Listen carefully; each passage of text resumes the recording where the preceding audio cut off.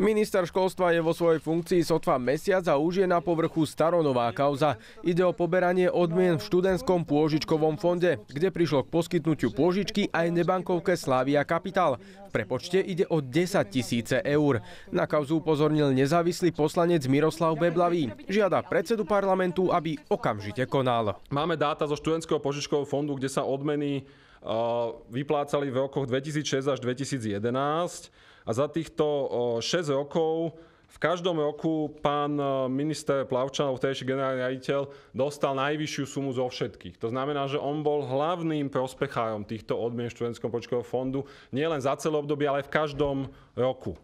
Celkovo si od roku 2006 až 2011 zobral odmeny v hodnote 35 tisíc eur. Následne ich však vrátil preto, aby mohol zostať na ministerstve. Dám rozhovor potom, keď sa vrátime. Ďakujem pekne, dovidenia. Ďakujem.